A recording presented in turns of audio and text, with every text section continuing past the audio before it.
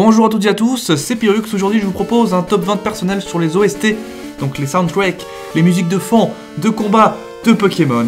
Dans le jeu vidéo, bien sûr, il y en a beaucoup et du coup, c'est pour ça que je fais un top 20 personnel. Ça va assez vite. Je vais donc les, faire entendre tous à la suite et je vous propose donc de me dire ce que sont vos musiques préférées dans le jeu Pokémon. Je vous le rappelle, les musiques de combat. Et donc voilà, je vous laisse regarder ce top 20 et dites-moi ce que vous en pensez. C'est parti!